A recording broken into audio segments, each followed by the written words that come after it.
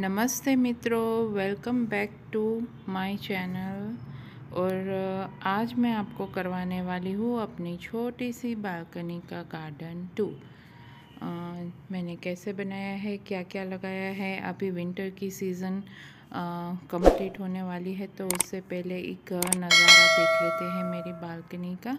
तो मगर इससे पहले अगर आपने सब्सक्राइब नहीं किया तो प्लीज़ रिक्वेस्ट करती हूँ आप सब्सक्राइब कर लीजिए।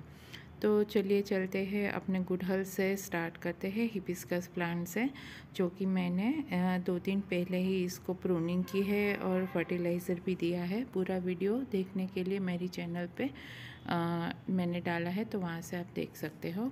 तो ये है मेरा हॉली हॉक्स का प्लांट जो कि अभी जाने वाला है क्योंकि गर्मी के सीज़न में ये नहीं चलता।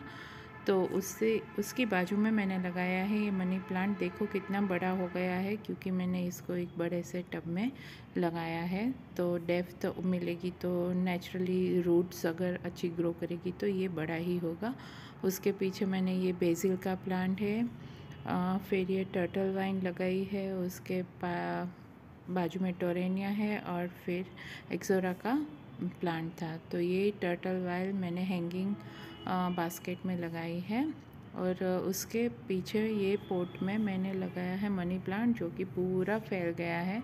पोट ही नहीं दिख रहा और उसमें तीन प्लांट लगे हैं। मोगरा के प्लांट लगा है और मीठे नीम यानी कि कड़ी पत्ता का प्लांट ही प्लांट भी उसमें ही लगा है। और ये है तुलसी जी का प्लांट जो मेरे छोटे से पोट में लगाया है। ये है जेरेनियम का प्लांट जो कि बहुत ही अच्छे से ग्रो कर रहा है। कोई भी पत्ती पीली नहीं है, कोई भी पत्ता सूखा नहीं है और हर डाली पे बर्ड्स आए हुए हैं फ्लावर के।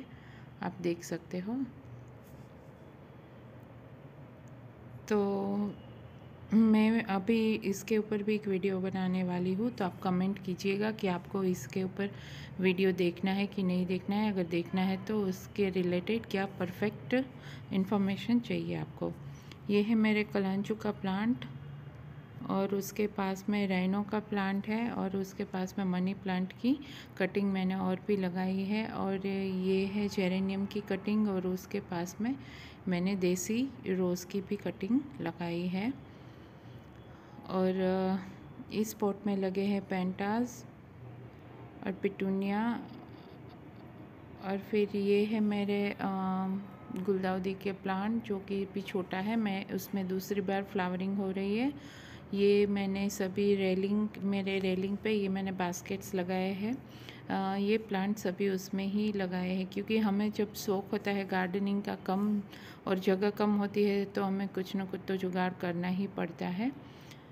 तो देखिए, ये सभी प्लांट मैंने इसमें लगाए हैं और ये है आइस प्लांट जिसमें अभी तक फ्लावरिंग हुई नहीं है और ये बेबी सनरोज़ का प्लांट है जो कि हैंगिंग बास्केट में लगा हुआ है। तो इस तरफ़ देखिए ये मैंने गुलाब लगाया है इसमें।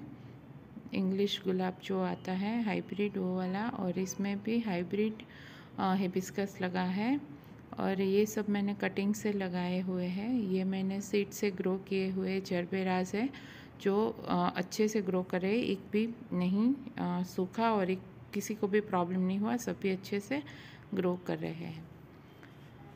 तो ये मैंने सभी अभी तो छोटे पॉट में लगाए हैं, फिर ग्रो होने के बाद मैं इसे बड़े पॉट में ट्रांसफ़र कर दूँगी।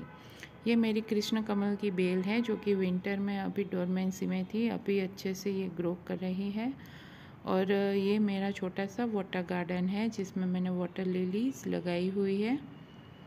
तो वीडियो को अगर अच्छा लगा है तो प्लीज़ सब्सक्राइब करना मत भूलिएगा नोटिफिकेशन बेल भी ऑन कर लीजिएगा। Bye take care